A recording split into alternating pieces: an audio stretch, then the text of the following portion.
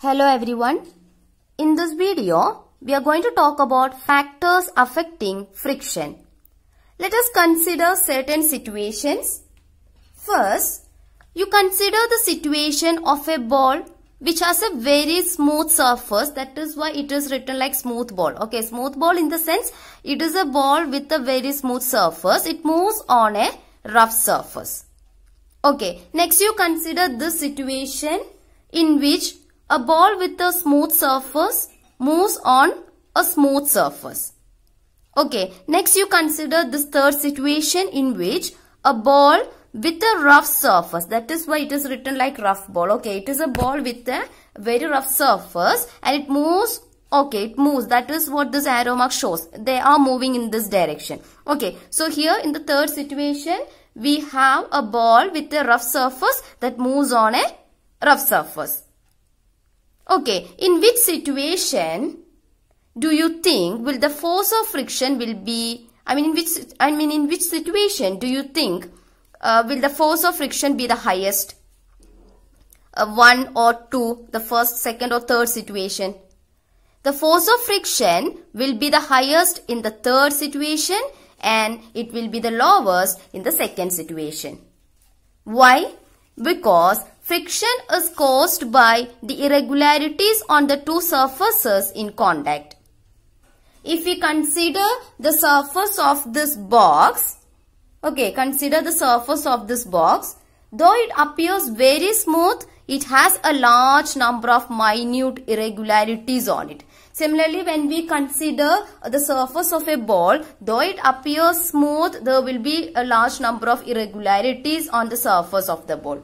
Okay, then the irregularities on the two surfaces, okay, irregularities on the two surfaces lock into one another. That you can see, they lock into one another. Alright, so when we attempt to move any surface, we have to apply a force to overcome this interlocking. On rough surfaces, there are a large number of irregularities. So the force of friction is greater if a rough surface is involved. Now, consider the case of a mat kept on a surface. When nobody is sitting on it, it will be quite easy for us to drag this mat. But when a person is sitting on it, it will be really difficult to drag the mat. Right. Why is it so? Because friction will increase if the two surfaces are pressed harder. When someone is sitting on this mat, the surface of the mat and the surface on which the mat is kept are get pressed harder so the force of friction increases. Now, next you consider uh, this box which is at rest.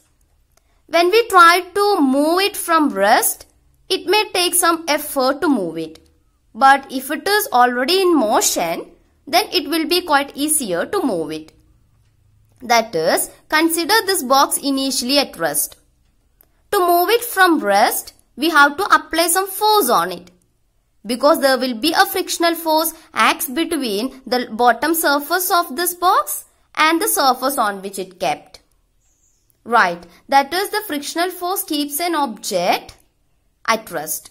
That frictional force that is uh, when we up that is if you want to move this box which is at initially at rest we have to apply some force on it and because there will be a frictional force acts between the two surfaces and that frictional force keeps an object at rest.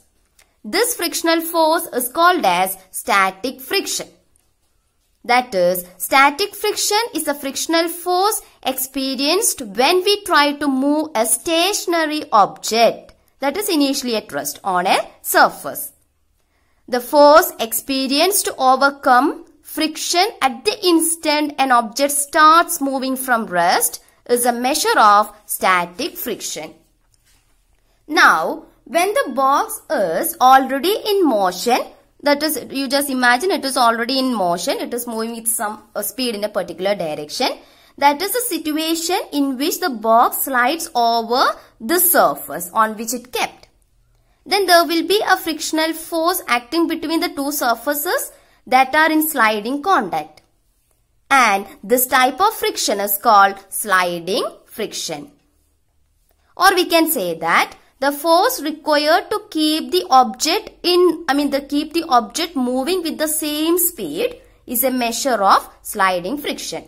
The force required to keep the object moving with the same speed is a measure of sliding friction.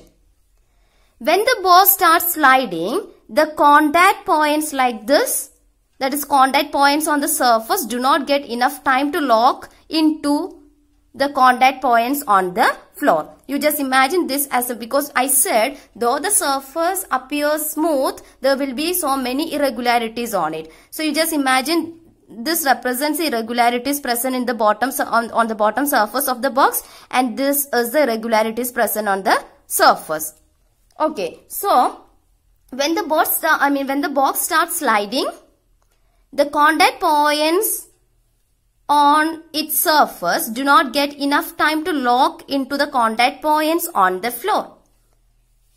Okay, so the sliding friction is slightly smaller than the static friction. Sliding friction is slightly smaller than static friction and you find it somewhat easier to move the box already in motion than to get it started. So in this video, we have seen the different factors affecting friction. I hope you understood this. Thank you.